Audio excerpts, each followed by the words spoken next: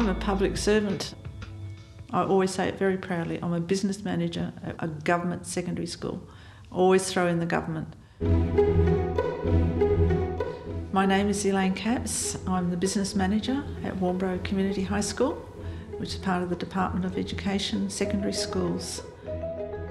My job entails anything to do with non curricular issues, and it's the finances, the buildings, the facilities, the security of the school, support staff. We try and cover a lot of areas in the school to support the school and the kids and the teachers. Mostly what she's doing is, is doing that behind the scenes work to allow everything else to work. It's through Elaine that all the computers are working. It's through Elaine that the library is functioning. It's through Elaine that the, the educational aides are, are actually supporting the kids in their education. I was a foundation staff member, so I've been here from the day that the first child walked through, and that was 16 years ago. I feel as though I know every stone in the school. I feel as though I've made a decision on just about every component of the school, even down to the bricks and where they're going to go. She's been the glue for this school in so many ways, and there's so many people have so much loyalty to her. I love the interaction with the people. Hi, how you going?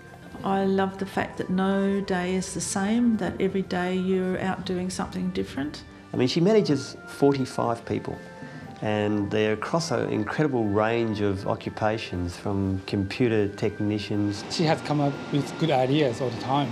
To gardeners She backs you 100%. to educational aides. She's totally awesome at her job, and I don't know what I'd do if I didn't have her at the helm. doesn't matter how young or how old someone is, she relates to them on that level, you know, and she just brings her her goodness, her persona, her character, you know, just comes out.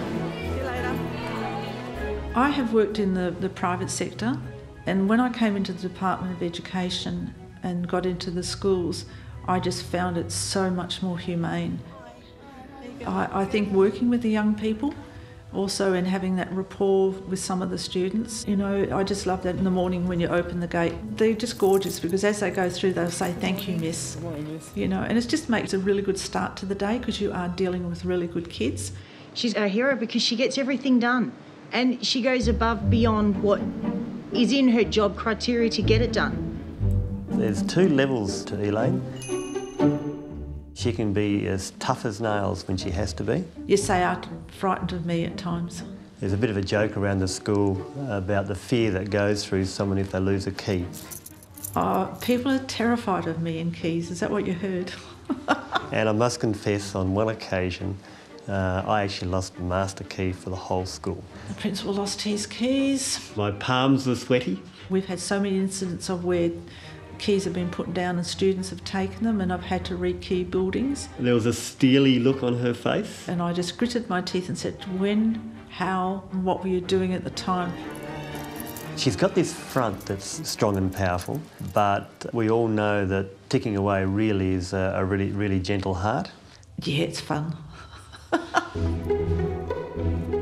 the profile of a public servant is that of a bludger, of a person that doesn't provide the service that they're meant to provide. But I have found that the, my, my interaction with public servants across the state, that's not the case. Public servants, they work hard, and I think they work harder now than they did when I first started about 26 years ago. So you're going to work after hours, are you, today, to do that? I don't believe that I am working. I just believe that I'm part of a team doing something. And the reward is I go home at night feeling very happy with what my day's been. I just love my job.